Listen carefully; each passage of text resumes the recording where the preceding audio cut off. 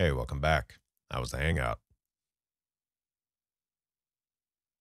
I can tell by that expression something went down. Hey, absolutely. We can talk about it. What's up? What happened?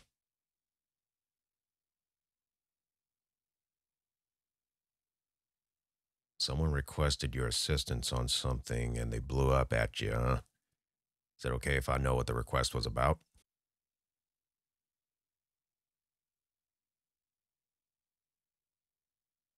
Ah, computer tech support. Let me guess. You informed them their computer's hardware does not meet the specs for the apps that they want to run. Upon hearing that, they became irate and belligerent, trying to claim you don't know what you're talking about, right? I figured as much. That's the typical response from folks stuck in delusion. They tried to say you jinxed them for telling them reality. So then, after so many back and forths of trying to share the cheapest options possible for the same results, they just became more irate and more disrespectful. Did I hit it on the head? Mm, Good move. If they don't want to listen to solid reasoning, then there's no point in continuing the conversation. How'd they take being told off? They started crying. You must have hit them with some serious reality check. Plus, it sounds like their skin is not very thick to begin with. Ultimately, they messed around and found out. Oh gosh, white knighting is the worst. It's not necessarily wrong that you told them off, especially when it's the truth and the motive was to help them realize the actual issue. My only observation is there are some cases where telling off folks of that mindset is likely to go through one ear and out the other, or they can become more irate and just lash out.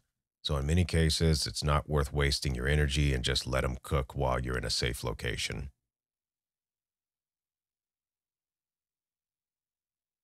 Their friends wanted you to be patient with that individual who was basically bad mouthing you. What level of patience did they want?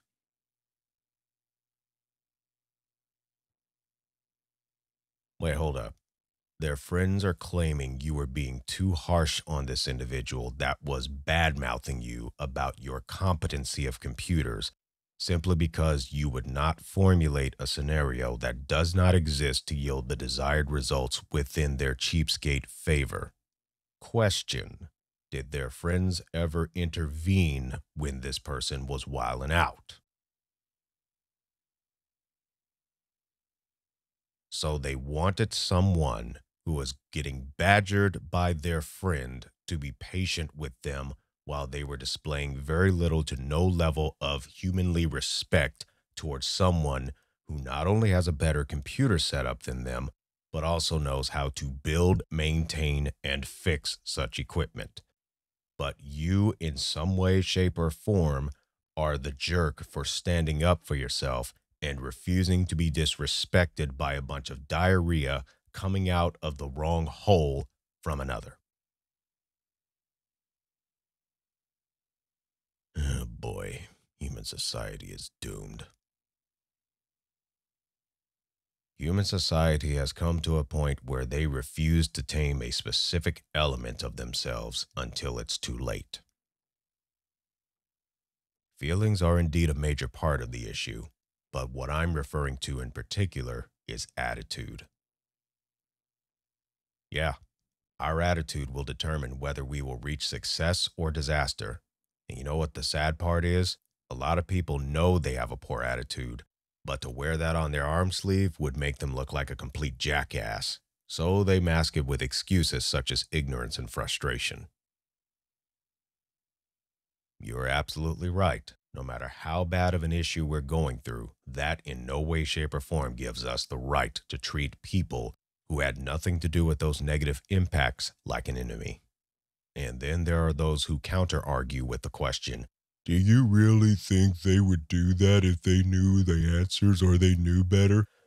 Well, the answer to that is it depends on their mental state. Delusion is a term that exists for a reason.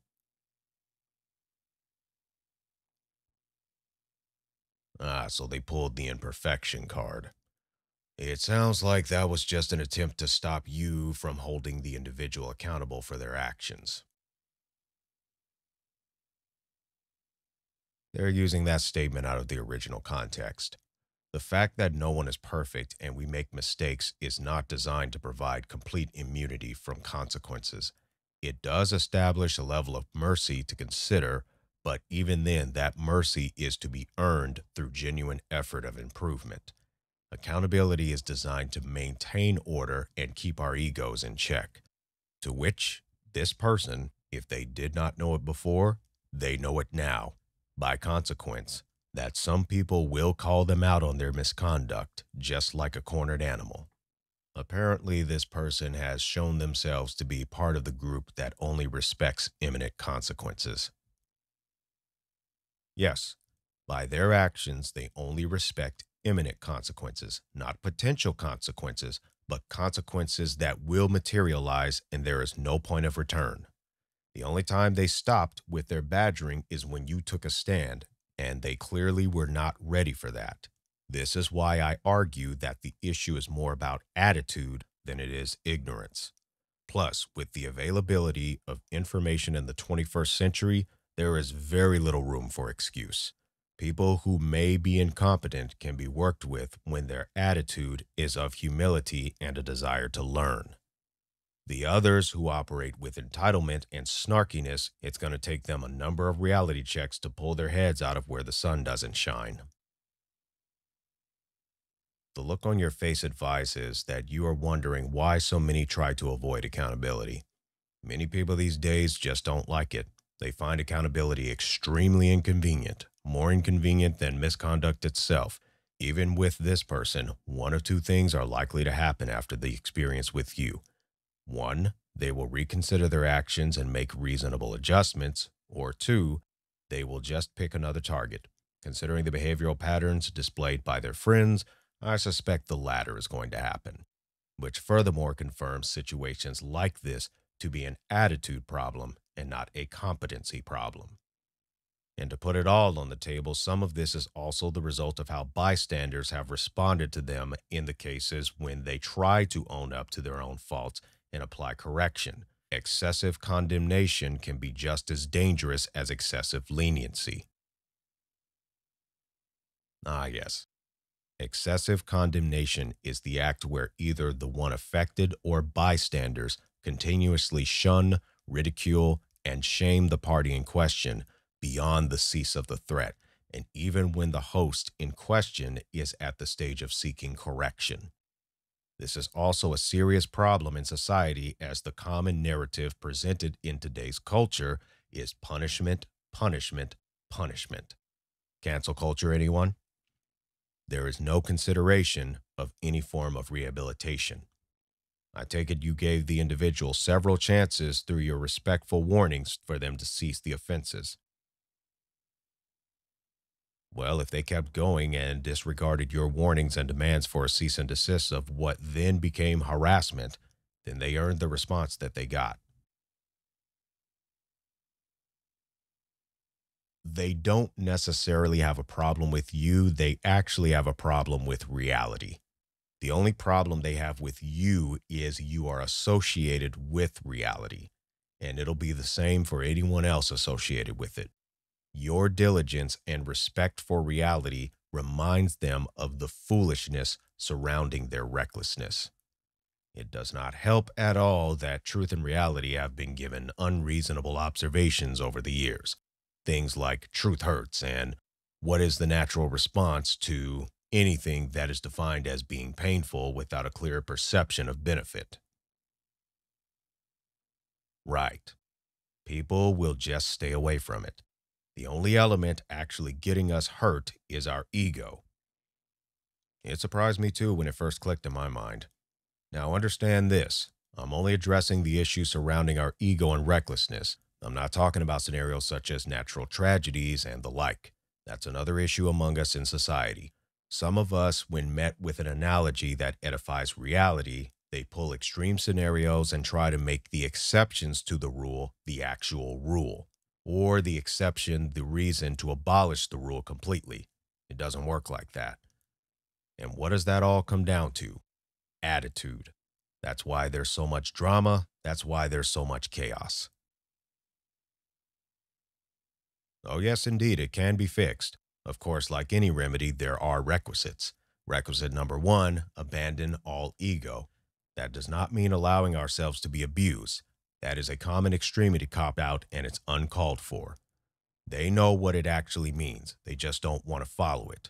Again, attitude. Requisite number two we get with the program of reality.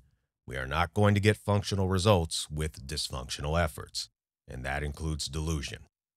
One of the biggest necessities within us, we need to heal from our past wounds.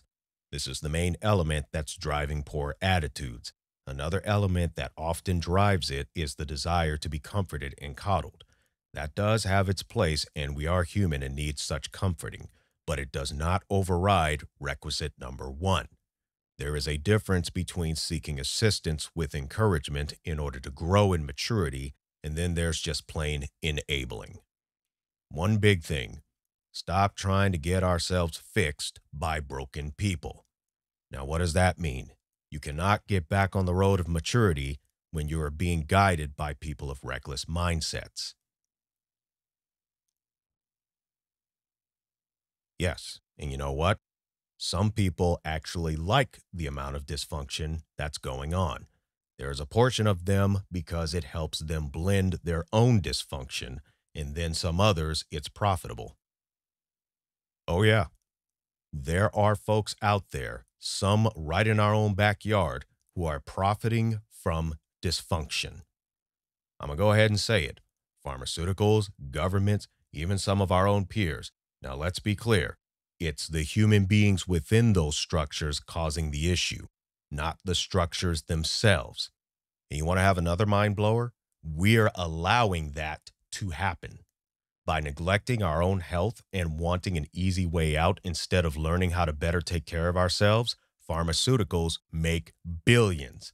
Because of our recklessness, insurance companies, lawyers, and private prison owners, and even investors make billions because of our selfishness and willingness to go against our peers just because they don't agree with us and fight for laws that could ultimately one day apply to us to be the non prevailing party. Guess what? Unrealistic minded politicians get to stay in that office because those people of the same mindset vote to keep them in there. They make promises to the groups of people whose issues are the latest trend to get their vote those who are voting for it not realizing or just disregarding the reality that that cost will happen later on. And don't take my word for it, see it for yourself. And it all can be traced back to one mental condition attitude. This is why reckless minded people try to mask it with the common smoke and mirrors ignorance, age, sex, etc. All we can do is share the information with those who are interested in growing in maturity. Those who are not, sad to say, but you just got to let them cook. At the end of the day, you did what you should have, and that's all we should be doing. It could have been a lot worse too, but you did what was best. And you found out what you can do better, so that way you'll be even more efficient next time. I'd say it's been some heavy conversation today, and it's getting late. So I'd say it's time for us to get some rest. Unless you want to bench through some anime for a while. All right, then. You pick the show, I'll get the popcorn.